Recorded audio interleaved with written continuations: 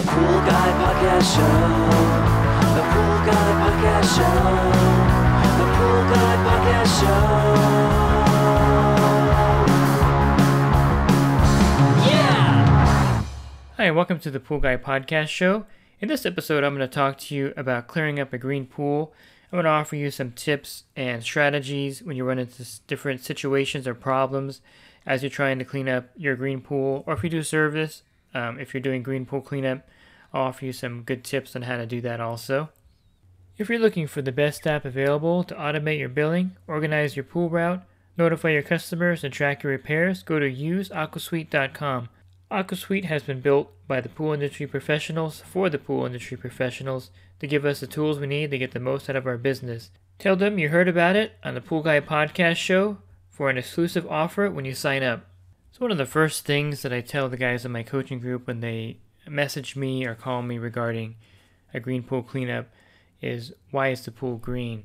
I'm not going to go into a lot of details about chemistry and balancing the water, but I'm going to point out a few things that could contribute to the fact that the pool is green, which could make it harder to clear up um, if you're trying to clear up the green pool, and that's why I mentioned this. So, one of the things that could cause the pool to be green is poorly running equipment. So, that's the first thing you want to make sure is that the equipment actually works. So, I tell the guys the first thing you want to do is go over to the pump and turn on the timer. If it's an automated system, go ahead and turn it on and see if the pump actually comes on and is running. So that's the first thing you want to do. If you just bought a house and the pool is green in the backyard, um, you bought a house as is and you're going to try to clear it up. So the first thing you need to know is is the equipment actually working and functioning? And so the first thing you do is test the pump, make sure it turns on. If the pump doesn't turn on, then of course that's going to be a problem because you do need the pump working in order to clear the pool up. So that's something that you need to address if the pump's not working. Uh, hopefully, um, you can get it working to clear up the green pool without having to replace it, but sometimes you may have to replace your pump or motor to get everything working again. The next part of the equipment that you want to check to make sure that it's functioning is the filter. If it's a sand filter, it's pretty easy. You just have to backwash it and see you get that working and get the PSI down. If it's a cartridge filter, or D filter, it could be more problematic to diagnose. Um, so the first thing you want to do is take the top off the filter on a DE or cartridge filter, clean the filter and inspect the elements or the grids to make sure that there's no tears in the grids and that the cartridges aren't really old. You can tell the cartridges are old basically by the bands on the cartridge. Um, if they're really worn off or there's no bands at all or if the pleats are really ex- expanded out uh, chances are the cartridge filter is no good. It's going to make the green pool cleanup process a little bit more difficult if you're using the old cartridge. And I get this question also from one of the guys in the group is, well, if I'm going to clean the green pool up and I'm using the cartridge, if I replace it, I'm going to ruin the new cartridge. But that's not necessarily true. Um, the cartridge is really durable. If you're trying to clear up a green pool with an old cartridge or a multiple cartridge filter for cartridges, it makes it more difficult if it's not filtering properly versus just buying a new cartridge or a new pack of four cartridges and putting them in there during the process. Because you can hose off the algae pretty easily on a new cartridge. It's not going to damage it or shorten the life of the cartridge in most cases, unless the pool is like really severely green. Um, so replacing the cartridges as you're doing the green pool cleanup process at the beginning is actually a smart idea and one you should consider if the cartridges look worn out. It'll make it harder to do with older cartridges, but not impossible. You just have to uh, take a longer process to do. As far as the DE filter, if you notice any torn grids or if the manifold's cracked, definitely it's going to make the green pool up process pretty much impossible because DE will go right back into the pool. The pool's not going to filter properly, and the green pool's not going to clear up in that case.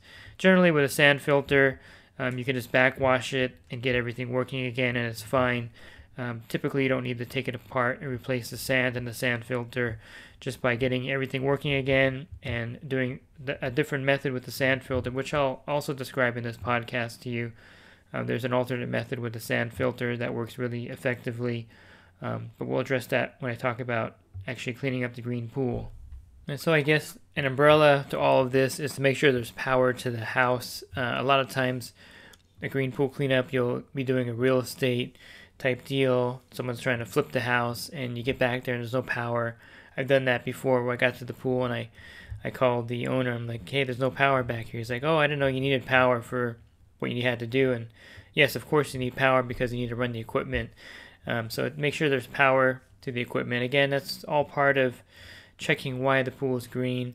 I'm not going to go into like the fact that the, the customer didn't take care of the pool or it could have just been a tenant living there and giving the landlord trouble. Um, those are all reasons why the pool didn't have any chem- chemicals in it and it turned green. So it's green basically because it's, it's of course not balanced with the right chemistry, and it may be green of course because the equipment's not hasn't been running properly. So those are factors definitely look at first. Once you assess it and realize that okay, this is what's wrong with it, it's just the fact that they didn't have the they didn't put chemicals in for two months or it wasn't running for a month. And once you get it up and running, you would do the green pool cleanup process, which I'm going to go over here in detail for you in this podcast. So I have several videos on my YouTube channel with different clean, green pool cleanup methods. I'm gonna just gonna make it simple and just put it into three categories for you. One would be the sodium brom- bromide method, which is uh, the yellow treen or the swamp treat, or you can use any other brand of the um, sodium bromide product like um, yellow treat.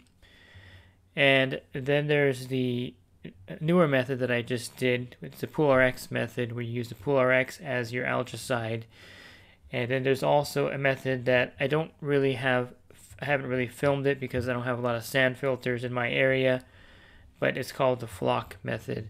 And this is really effective with a sand filter. Not so, not as effective with a cartridge and D filter. Um, I'll go, I'll give you the reasons for that also why it's not quite as as effective as the other method that I like using, which is um, using an algicide and using the shock and awe method, which is um, put enough chemical chlorine in there to um, you know shock and awe the the references to the uh, first Iraq War where they went in there and just bombed them out. And that's what you're doing to the pool. You're kind of bombing it out with chlorine to get every get to kill the algae and to turn the pool really quick back to blue. So let me start by touching on the flock method. And you can use a product like Dropout, whatever your local pool store carries. Just tell them you need to flock your pool. And basically, what this does for a sand filter, it's it's really a, a good method. And uh, a lot of guys use it in Texas and uh, parts of the South where they have a lot of sand filters in Arizona. And basically, the sand filter, the problem with the sand filter is that it filters so inefficiently that the algae is too fine of a particle for it to filter out, which means that if you're trying to do the, the traditional green pool shock and awe method with a sand filter, it will take a very long time. So it could take three up to three weeks with a sand filter because of the ineffective filtration. So to speed things up, what the flock agent does is it clumps the algae and everything together, and then it'll drop it to the bottom of the pool and if you have a sand filter, 90% of the sand filters have a multi-port valve. So you can actually put that multi multi-port valve into waste mode and vacuum all the stuff on the bottom of the pool. So the directions for the flock method are on the back of the bottle. It's very easy. You would put the flock in the pool. You would raise the chlorine level up, of course, to 10 parts per million. Then you would run the pool for one to two hours in recirculate mode if you have that on your um, multi-port, and then you would turn the pool off for 24 to 48 hours and let all the algae kind of drop to the bottom of the pool with the flock, and then you would vacuum it out to waste. So this will speed up the green pool cleanup in a sand filter pool pretty rapidly. So instead of taking three weeks, you can get it down to a week, a week and a half with the flock method because you're actually dropping all the algae to the bottom and then vacuuming out the waste, which is kind of convenient with a sand filter having the ability to vacuum out the waste mode. And so if you have a sand filter at the pool that's green, um, definitely think about doing the flock method and that will just clump everything up so that it can actually uh, fall to the bottom and be vacuumed out pretty rapidly. If you have a portable uh, cleanup pump, you could probably do this method pretty effectively in a DE or cartridge pool. The reason why I don't use this method here in California is that about half the pools that I do green that I've done green pool cleanups on are cartridge, and the other half are D-filter. And these filter very efficiently in most cases, and so there's no reason to really do the flock method to drop everything down to the bottom of the pool because the filter will actually do the job really well in filtering out all the algae in the pool. So with a cartridge filter and a D-filter, the video that I the steps are the same in the videos. Basically, you would um, clean the filter. So if it's a cartridge filter or D filter, you would take it apart, hose it off. With the D filter, you would recharge it with fresh DE. Of course, at the beginning I mentioned checking for any kind of tears or rips in the grids or cartridges. You put everything back together, and then um, you would start the green pool cleanup process, which is putting enough chlorine in the pool to counterbalance the algae in the pool. So what this basically means is, let's say you have a 15,000 gallon pool, you can't see the bottom, there's mosquito larvae in there. I would consider this a pretty green pool, and you're going to need a lot of chlorine to counter it. If you just try to do this with, you know, a case of chlorine, you put it in there and you run the pool, it's not going to do anything because all the organics in the water are going to use up the chlorine really fast. And so one thing that's really surprising in a green pool cleanup with this method is that the next day when you get there, you put in tons of chlorine, and when you do the reading the next day, usually you have zero chlorine, which is um, really scary. But that's what happens a lot of the times is that the algae, the, the chlorine is all destroyed or used up, getting rid of the algae and all the organics, which is like the mosquito larvae or anything else in the pool that's in there. So um, for a 15,000 gallon pool, you definitely want to just put a, a, ton of chlorine in there. There's charts online. You can go to like online calculators to see how much to add, but you really don't need those. You just want to put a large amount of chlorine in the pool.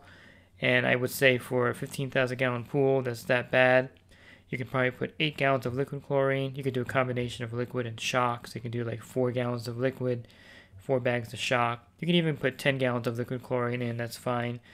And then you would use either the uh, sodium brom- bromide method, which is the yellow trine method.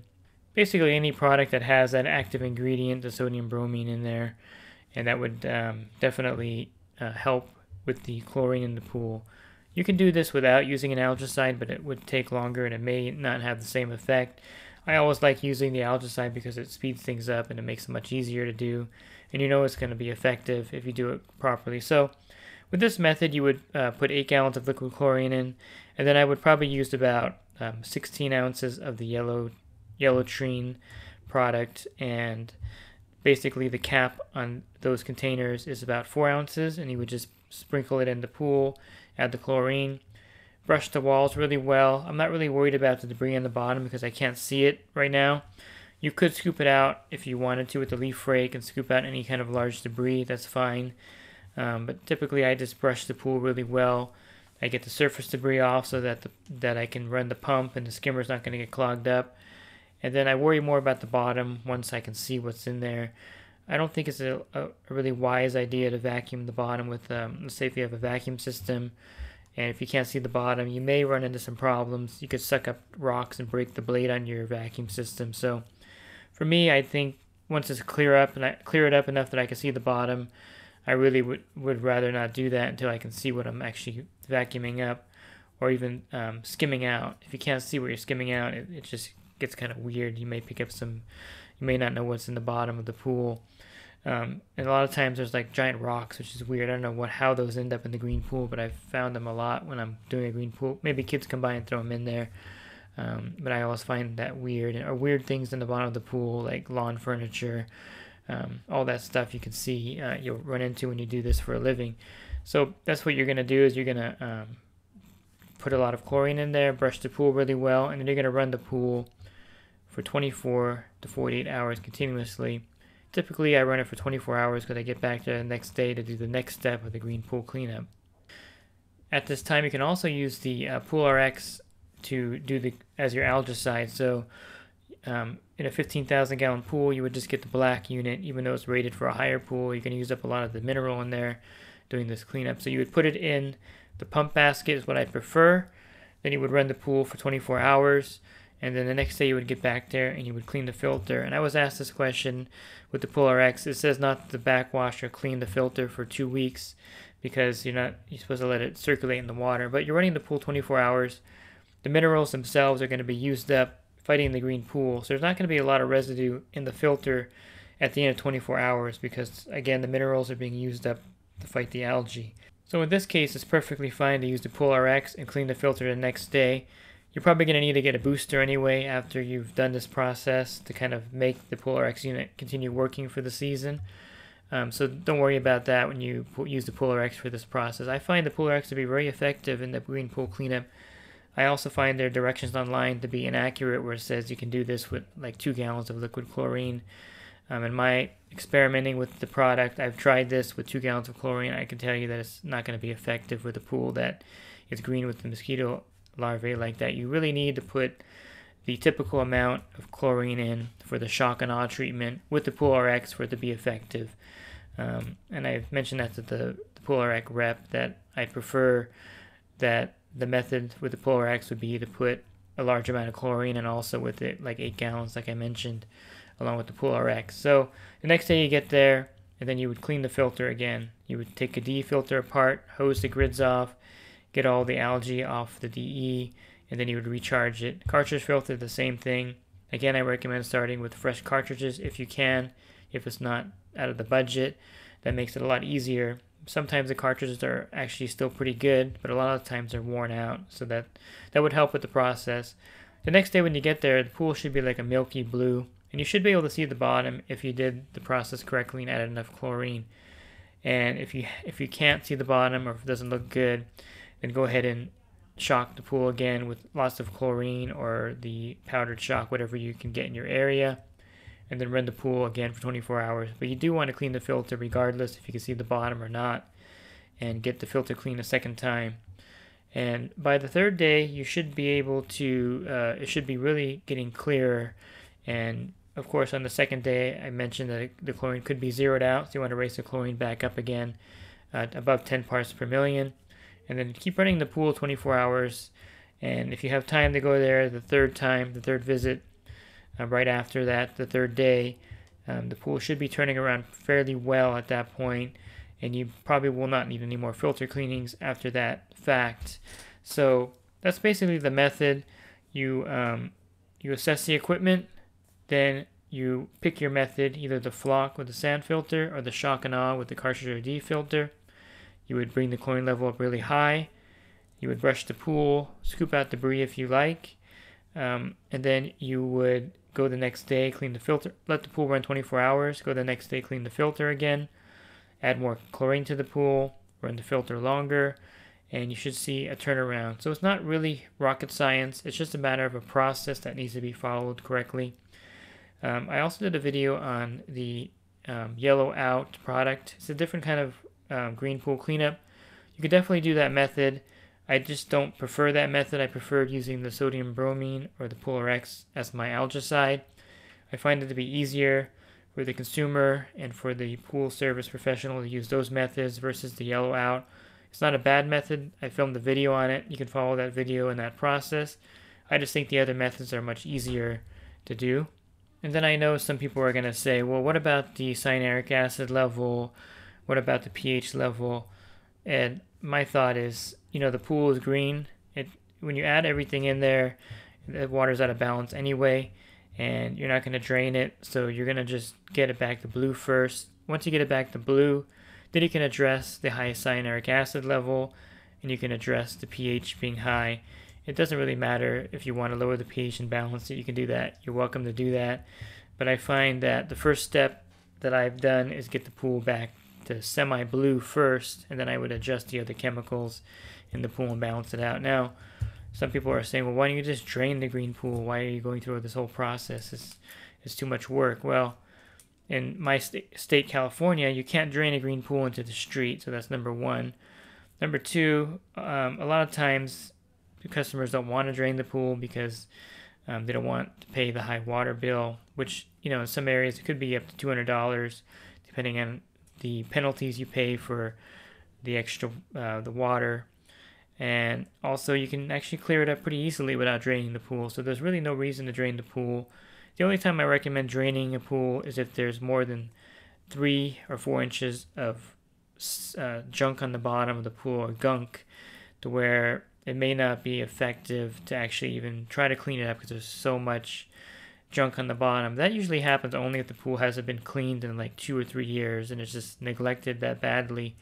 Then yes, drain the pool. But in most cases, this will turn the pool around very rapidly without needing to drain the pool, and it's really effective. And just know your local laws about draining a green pool. Some pools, of course, you can't drain, like a fiberglass pool or a vinyl pool. And some pools you just don't want to drain because you don't need to because you can clear it up this way. But if you do drain the pool and it's green, um, it is illegal in California to drain a green pool into the street. You'll get a ticket for, I believe, about $10,000 in my area. Some areas even higher. You would have to drain it directly into the sewer line. Um, and in that case, you can probably get away with it, but still, there's ordinances that prevent you from draining a green pool. I mentioned that I, in the, I think the other podcast, that I did a green pool cleanup for a replaster because the plaster did not want to get in trouble by draining a green pool. So I cleared it up for him and then he drained it. So um, you can definitely see the reasoning behind that. You don't want to get in trouble and get fined. And you're thinking, well, who's going to find out that I'm draining the pool into the street? well, one of the neighbors in your neighborhood is probably going to call the city on you and report that you're draining the pool. It happens all the time, and definitely don't want to do that. So now, if you do green pool cleanup as a living, you definitely want to invest in either a portable filtration system like the Advantage PortaVac or MiniVac 2. These are pre-built standalone filtration systems, and you can actually use these for green pool cleanups also. You can also build a portable green pool cleanup pump. It's relatively inexpensive for about $250. But you have to be realistic also when you're using one of these pumps to pump out the pool. Whenever you're vacuuming up a pool that has a lot of algae dust in the bottom, it's to stir it up. It's not going to be like you're going to vacuum it out. It's going to be like blue streaks and it's going to actually make the pool probably a little cloudy again, maybe a little bit green again in some cases, depending on how much dust is stirred up. So just be aware of the fact that there are limitations even for vacuuming, manually vacuuming a green pool that has a lot of algae dust. So it may take a good two or three vacuuming sessions to actually get all the dust out of there and the pool will be crystal clear after that point. Again, that just depends on the severity severity of the green pool and how much algae dust is actually in there. And then if you have a very large pool, 25,000, 30,000 gallons, you're going to have to up the chlorine levels. I mentioned for a 15,000 gallon pool, like 8 gallons. If you're doing a 30,000 gallon pool, it's not unheard of to put 20 gallons of liquid chlorine in there to get the level up enough to counterbalance the algae. And so there is a process for the green pool cleanup, and definitely watch the videos I have on my YouTube channel. They're they're, they're pretty good. They go into good in depth. Um, I show this in depth in those videos, and you can definitely uh, clear up your pool using the methods that I mentioned here. And definitely, um, it's not. It looks daunting when you go back there and the pool is green, but it's definitely not impossible to clear it up. And it's actually a pretty quick process. You can have it back to blue within two weeks in most cases. The next day, again, don't expect a miracle. Don't expect it to be crystal clear. You can see the bottom. It's going to be that milky blue color, uh, kind of like uh, a little bit cloudy too, but it definitely will look a lot better than the green pool at the first day for sure. So if you're a homeowner looking for more help with your pool care, definitely check out my website. I have an ebook available there for $9.99. You go to my website, swimmingpoollearning.com, and get this resource. If you're in the industry and you're looking for more one on one help with your business, consider joining my coaching site. You can learn more about that also on my website, or you can go to the dedicated site that I created, poolguycoaching.com. And for $10 a month, you can text me in real time. And for $20 a month, you can call me. You also get lots of discounts and benefits that pretty much makes the membership free um, for the first two or three years if you use all the benefits in the group. So definitely all the group discounts. So definitely think about joining the group if you're in the industry to get more help. This podcast has been brought to you by InyoPools.com. Inyo Pools has been helping pool owners find the right pool parts since 2001. With over 50,000 pool parts in stock, order online today and have the parts delivered right to your door. And the podcast is also brought to you by the Riptide Pool Vacuum System. The Riptide is a powerful vacuum system that will allow you to get large debris off the bottom of the pool rapidly. To learn more about the Riptide, can visit their website at www.riptidevac.com. So thanks for listening to this podcast. Have a great rest of your week, and God bless. The Pool Guy Podcast Show. The Pool Guy Podcast Show. The Pool Guy Podcast Show.